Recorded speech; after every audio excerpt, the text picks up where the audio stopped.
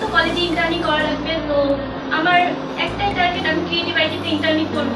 তো এখন ক্রিয়েটিভ আইটিতে দেখি একটা ভিডিও এডিটিং এর একটা কোর্স আছে। আর আমার ভিডিও এডিটিং এর কোর্স করার আগে থেকে অনেক ইচ্ছা ছিল, কারণ আমার একটা ইউটিউব চ্যানেল আছে। এটা আমি ভিডিও করি, তো ভিডিও করি আমি আর আমার ছোট ভাই মিলে, তো এখন ভিডিও এডিট ভিডিও করা হয় ক্যামেরা ট্যামেরা দিয়ে সব করব মানে ছোট ভাই যদি এডিট করে তখন ছোট ভাইয়া তো ভালোভাবে করতে, পারতো না। তারপর অনেক প্যারা দিত যে, না, করে দিব না, হ্যান ত্যান।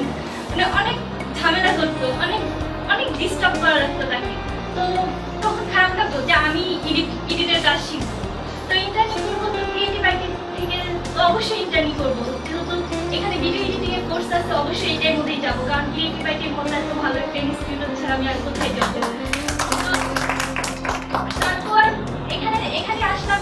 এর কোর্স করতে।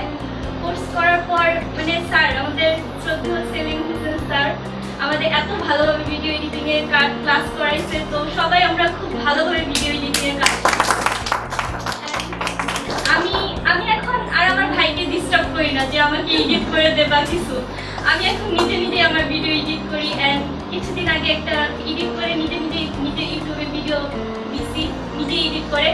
তো এটা তো সার্চে বা ক্রিয়েটিভ আইটির জন্যই আমি পারছি এমনকি আমি একটা ব্রাক ইউনিভার্সিটি তার ডকুমেন্টারি কাজও করছি ভিডিও এডিটিংয়ে তারা বলছে যে অনেক ভালো হয়েছে ভিডিও এডিটটা ডকুমেন্টারিটা অনেক ভালো হয়েছে এমন তারা এমন আমাকে একটা প্রেম প্রেমিকও দিছে, যার কারণে অনেক ভালো। মানে ভিডিও এডিটিংটা সত্যি অনেক এখানে উপকারী আছে।